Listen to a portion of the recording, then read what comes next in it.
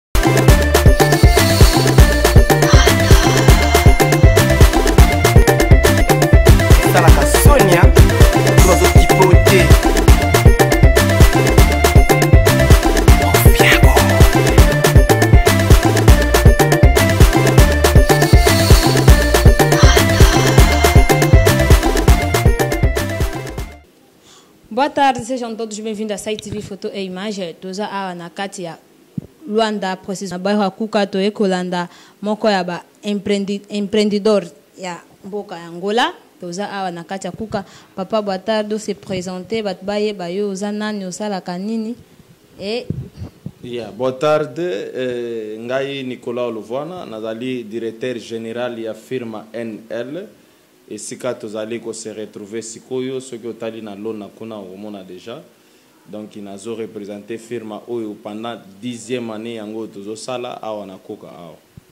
Merci papa. Question na biso batu balingi bayeba firma eza agence ya de viage eza agence eza kaka pona DV Oh esalaka pe makambo mosusu foda de deve loterie.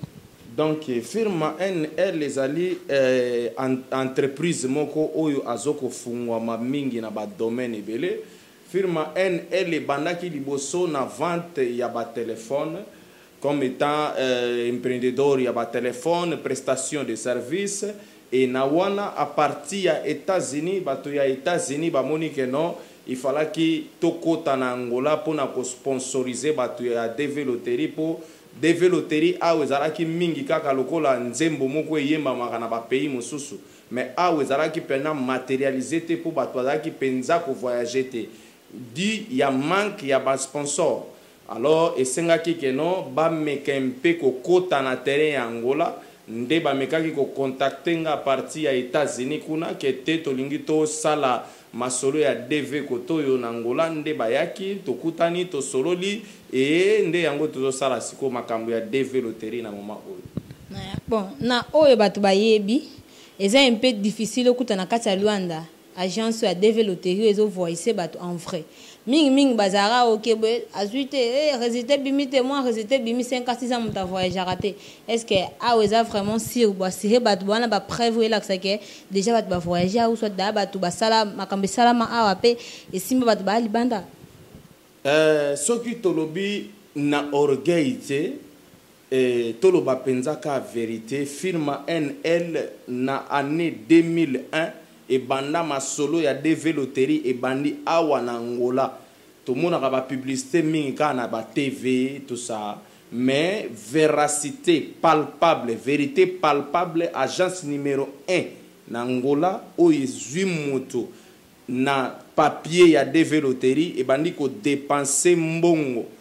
pona mutu wana a se retrouver na etats unis en tout cas ti sikoyo eza kaka na firma NL ba epreuve ezali biso tozo loba te masapo te oh tosopela kaka batu ba poudre te tozo loba makambu oyo to sala donc verite ezali bo koti na ba eternet na site na ngai boko mona yango et na ba CD ba disque tout ça bako mona donc eza makambu ya solo biso awa penza soki mutu A participer na DV loterie ba selectionner ye aza na mbongo te aye na firma NL toko sala ye ndenge tosali ba Roberto ndenge ba maman Nicole lelo na Etats Unis na pesi yo mbote na bana bisika bozali ba yebisi nga mwana si bana si ba kotaki classe donc un mois kutu ekoki te donc c'est ça quoi. Merci ne papa olobi bon cameraman na biso azozwa ba image atia mpo bato bamona ndenge bato deja baza kuna na poto elakisi ke tozoloba kaka te me misala ezomonana ezosalema akola bato oyo baza libanda ya kuka apart kuka na kati ya luanda awa apart kuka eza na kote mosusu mpe firme ezali ou ozaka a na kuka eh, firma nl nde kaka nauti koyebisa yo donc azopanza bareseau na niveau nyonso tu Na moment oyo soko na shcongolais okokuta biso tozali na kalemba doge tozali na wambo tozali na lubangu tozali na bengela tozali donc ndenge toza boye toza en pleine kotia ba structure na biso et tokokoma na ba kikolo ba shkwanza partout oyo esika ezali batu oyo tozo mona ke baza interesse na misala na biso balingi ke ba participer na agence responsable neti ya biso na firma NL po na firma NL tosukaka te kaka mutu abeti DV loterie tozui prestation na ye nazoloba kobeta po eza langage vulgaire mais DV babetaka te DV bapesaka nde candidature Alors bato oyo ba pesaki candidature na bango na DV loterie akenda na ye ayebi te pe a gagna esika abetaki bazalaki kaka na posa ya mbongo ya prestation de service na ye wana biso eza bongo te epa na biso awa eloko ezo ko interesse biso ezali ko faire voyager bato vers les Etats-Unis Donc oko zala na yo pe o participer awa obosana na yo ata papier na yo ebunga mais epa na biso na firma NL toko benga yo toyebisi yo papa o gagne maman o gagne yaka tosala makambo na yo voyager donc biso eza ndenge wana. Merci papa nde owuti oloba eza kaka pona kosunga population apa Alain Ndisu ja akuma VHP ba angolais pe comme on nakoloba te ba angolais comme on dit Eh, tolobaka bangolais non parce que balobaka mingi bakongo na bato ya province mosusu estce deya mpe deya baya babeta fola ya bato balobaka langue na biso lingala bato baloba mpe portugais esi deja baya bagagna mpe babeta mpe deja loterie naza na badossier na bango awa bato bagagnaki année passe bazali badossier ezali awa babrown bazali ayokaka lingala te donc ye ayebi kutu likoloba te Aza candidat a gagnaki awa bazali batu penza oyo keno ayebi lingala te donc faut toloba bongo angolais eza nationalite hein oyo diverse a pesoa bakozala nango meme na ba eh, difficulite ya expression portuguese ozo comprendre mais batu oyo bayebi pe lingala te oyo ba participa na DV loterie po DV loterie lelo nde ezokoma ouverte ndenge nga nazofungola yango que na eternet penza okoki kokota pe boye o comprendre makambo na yango mais liboso information ya liboso ezalaka neti mwa mystère moko boye mais DV loterie eza na kati ya eternet soki okoti obeti DV loterie okomona ba information oyo okoki kotanga o comprendre et ba tanga na tindaka batu pe mingi kuna soki mutu abengi nga na yebi te ndenge na yebisaka ye tanga nanu kuna soki o comprendre te oyebisi nga ebongo difficulte nini oza na yango nga nako explique yo Donc na moment oyo batu baza ebele mpe baza interesse bazo benga nga na ba telephone partout dans le monde donc nazo loba monde mpo sango na nga etamboli hein naza na batu ya ba bela Russie ba bengaka nga chaque jour nazanga kozua ba appel ya etranger te en dehors ya Angola donc eza makambo oyo biso tozo sala donc ezo tambola pena c'est bon. natunaki question moko mais o répondre nga moi un peu rapide à part Luanda okositela biso combien de province oyo déjà mpe boinstalle déjà empresa na bino ya firma na kati oyo bato baza libanda bayeba na moma oyo ndenge eza awa à part ba province ya sul ya wambo eh, lubangu bengela na nord mpe na province ya kabinda tozali mpe tozotravaille na bapartenaire mosusu mpe baza kuna na nkombo ya firma nl Donc ye a part wana pe donc meme mutu aza na etranger oza partout dans le monde ata oza na Australie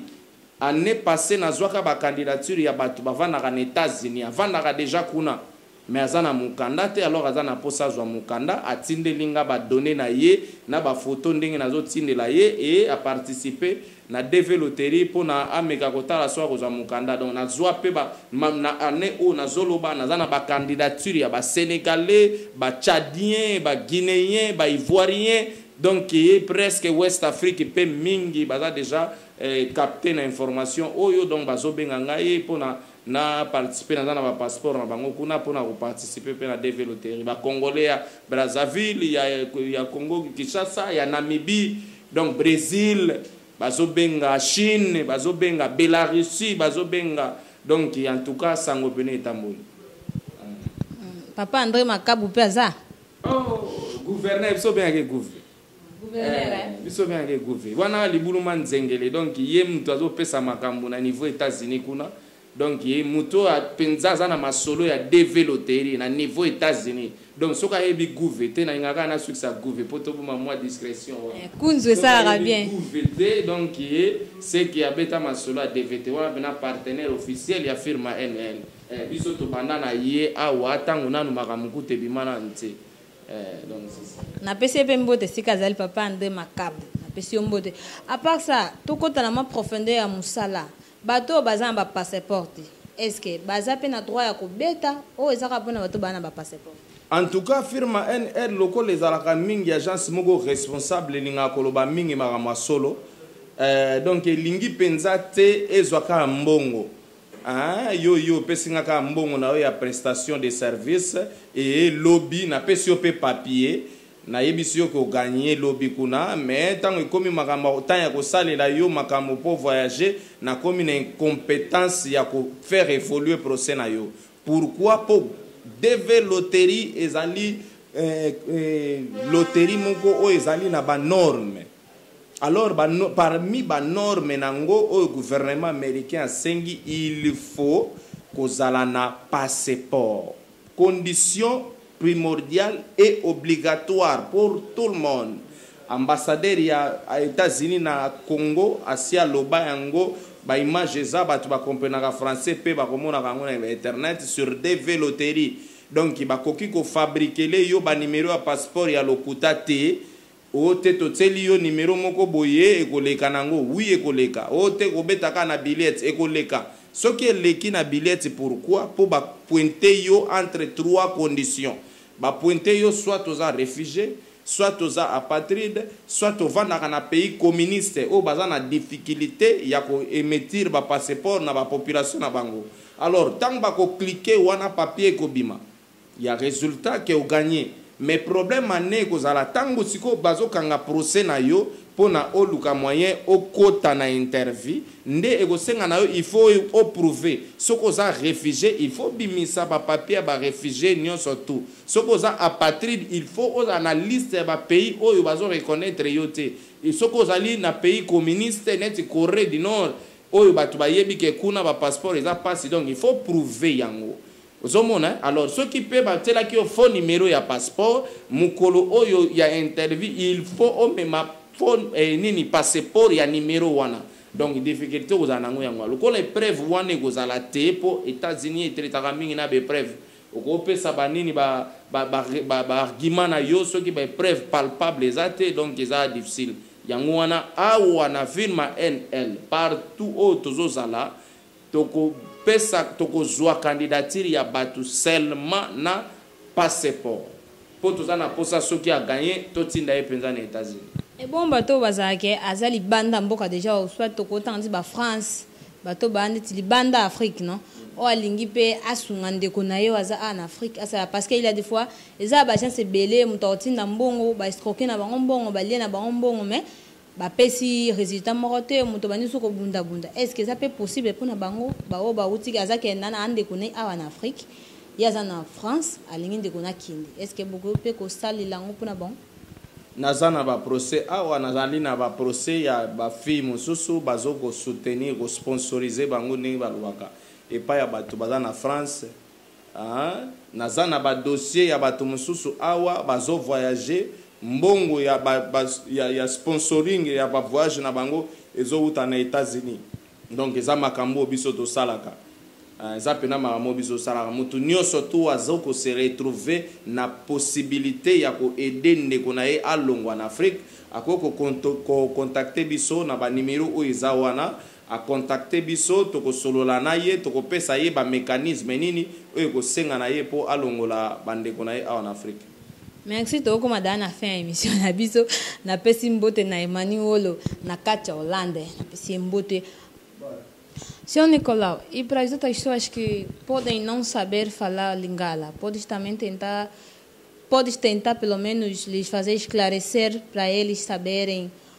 como é que é o jogo, qual é a vantagem do jogo, os que nunca chegaram a jogar também para jogar. Há quem está nos assistir, mas não tem interesse, eh, bem, não está a compreender o que nós estamos a dizer. Então, para tentar explicar mais ou menos um pouquinho daquilo, para eles também terem noção daquilo que nós estamos a falar. Yeah, é, muito obrigado de me ter dado essa palavra, essa oportunidade de poder explicar Nas pessoas que não entendem Lingala e que acabamos de falar.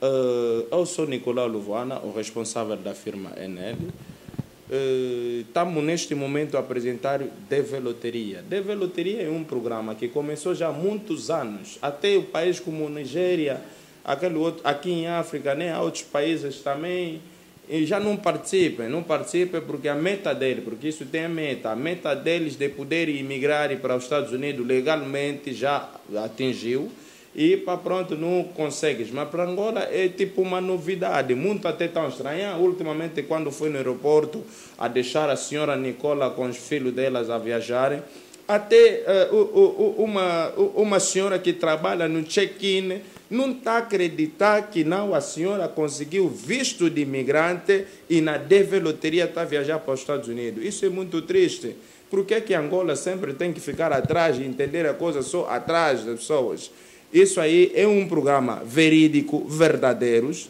e que quem é que tenha dúvida pode entrar na Google, ali digita só develoteria.pt vai ver todas as informações sobre a DV Loteria. Nós, como agência que estamos aqui, praticamente é só para poder prestar o serviço.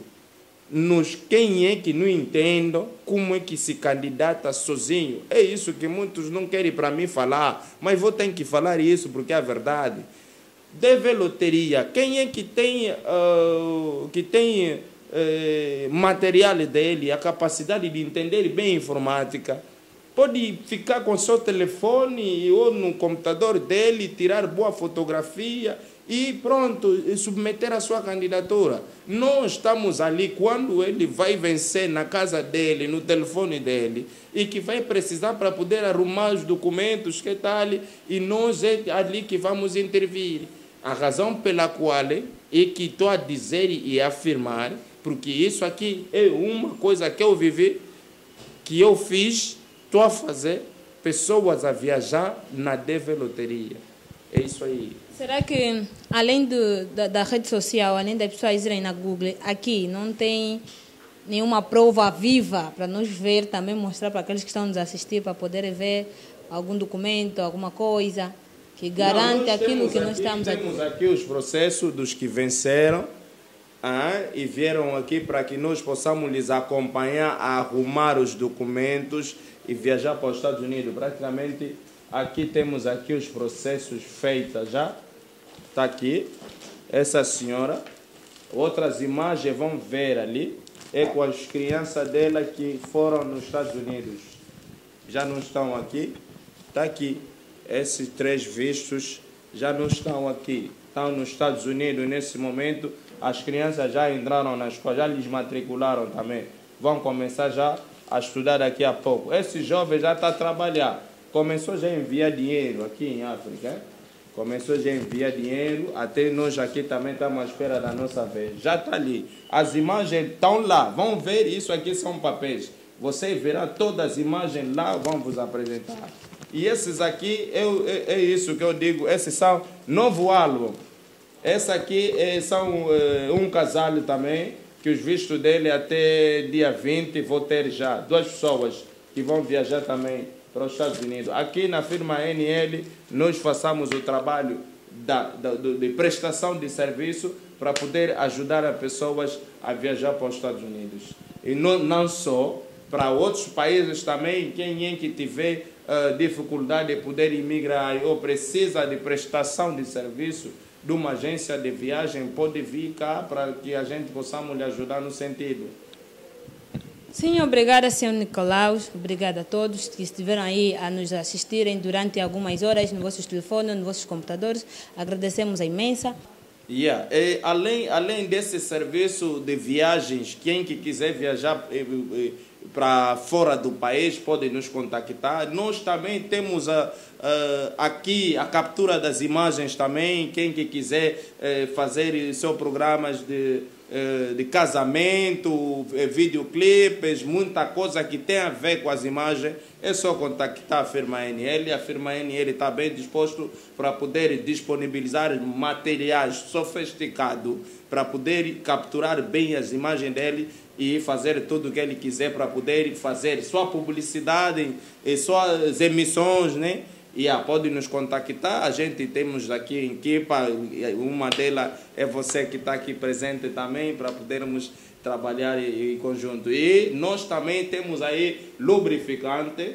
que tem é que tem a ver com, com os carros, que quero lubrificar o carro dele Pá, pronto, temos óleo, no Calemba 2 também temos ali lubrificante para podermos eh, trabalhar no sentido. Além disso aí, vendemos aqui também os telefones e, pá, e com todos os componentes dele, e para quem que quiser é só nos contactar.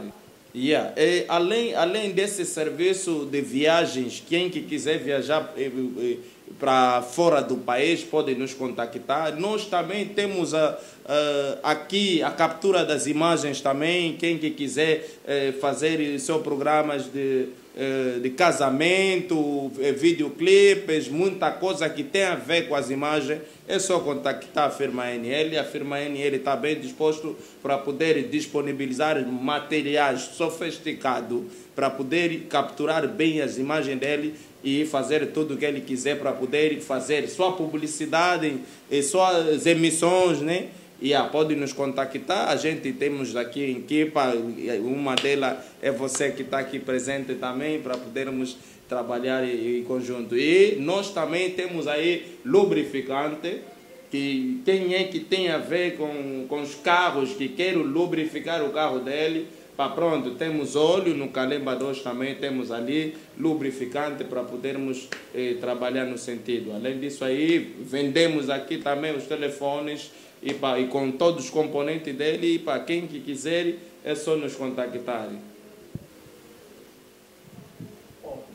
Yeah, é, é isso aí que a gente estamos aqui a falar. Pá, pronto, temos aqui uma equipa bem completa do SAI TV que está ali bem disposto a colaborar conosco. Quem é que quiser obter essas imagens todas que você está vendo é do SAI TV, é com um realizador e mais famado também, e mais famoso, né? E o David e o Bruno estão aqui para poder realizar o que vocês estão a ver nesse momento e a nossa jornalista também. Para pronto. Contudo, é só nos contactar. A gente está disposto para poder trabalhar na captura das imagens, na captura de, dos vossos videoclipes, todos que, que, têm a ver com as imagens, é só nos contactar. Yeah ndenge tozalaki awa towuti koloba makambo ndenge tozoloba awa donc toza penza awa a part ba makambo ya ba agence de voyage tozokosala pe makambo ya ba image en collaboration na Sai TV donc wana boluki na YouTube ba image oyo pe bokomona yango na ba YouTube. na ba CD partout na ba TV voir meme bokomona yango et na Sai TV mutu nionso tout oyo aza na posa ya ko capturer ba images ya ba feti, matanga, video clip aza na problème ya image naye etikala libela na vie na ye na qualite ya bien avec ba materiels ya solo po mok ba materiels mususu yango biso toko kangela ba photos na temps oyo nionso tout wana ba fournir yango kaka na Sai TV donc eza dejà entreprise moko oyo eza confiable. pona koluka kozua ba image donc c'est ça et à part wana pe na firma NL azo ko elargir toujours ba reseau na ye cote lubrification ya ba camion na bino donc makambu oyo etali lubrificante ba mafuta ya moteur en gros a detail nionso to boluki biso ba telephone oyo aza na posa azua telephone ya malamu aluki biso pe toko pesa ye yango donc musala tozo sala yango wana. Donc c'est ça quoi, na pesi merci pona ko profiter temps eza lisusu te na mwasi na ngai Virginia Antonio Lelu azalaka toujours pembeni pona ko conseiller na bana na ngai Aminata, Manasse, Jeremie aza kuna na Istanbul kuna grand garçon dejà donc na pesi bango mbote na ba camarades nionso tout toza na bango oyo bazo ko accompagner Vision, secretaire particulier Kennedy Atawa, Donc bango nionso tout en tout cas ba courage ba merci ya mingi toza awa na sai TV pona koluka moyen ya ko promouvoir ba images oyo ndenge bozo mona donc c'est ça quoi. Merci na balandi nionso bazalaki na biso wana na talaka bongo libela nzambe boss boa vida kabasa na pesi eh Gelor Benjamin game na pesi mbote Merci na realisateur na biso David Dekapa na cameraman na biso Bruno. Je salue mon frère Serge Lukok, le mannequin d'Orléans. Na pesi ombote place ozali Gelor Benjamin Baobi da gauche tozo tosa Fabiano pourquoi pas à toi aussi hein ba mbote makasi na touche zola la mega ne Baobi ah kadika di ma double poche ba double poche yonde makambo boss boa vida kabasa meilleur mariage malamu na pesi ba bon séjour ana kati Angola Precisement na Luanda, beijo a todos. Boza ligado, boza toujours branché. Sai TV photo et image toza wana pona bino. Tosunga bino en collaboration tokomi pe awa na notre euh, firma ba bien presa ya ba voyage quoi makambo nyonso eza awa oyo alingi voyage aye oyo mpe alingi ba émission ya bien alingi mpe ba, ba, ba promove biloko na ye usa toza na boutique nionso yo oza nango olingi batia oza na matanga tokoya tofilme oza na feti bobingi biso pourquoi pas mpona bafoto mpe tosalaka mpe bafoto bashot tosalaka mpe bafoto toza wana service complet toujours liboso toza na bino en avant angola toujours debout toza wana merci na bos na biso andré sozion ilunga moto asimbi sai tv baobi bonne séjour na kati ya luanda merci na yo bos napesi bino nyonso merci tokutani prochaine fois